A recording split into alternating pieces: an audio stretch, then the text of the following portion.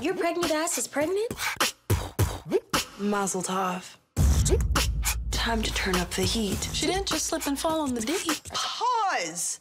Baby in the womb. Am I a bad friend? I don't know. I'm not on Facebook. Your baby doesn't have to be a bastard. Doesn't any of this feel wrong to you? Now you get why I'm never telling you anything ever again. We turned up the heat too high. Grownish, new episode Thursday at 8 on Freeform.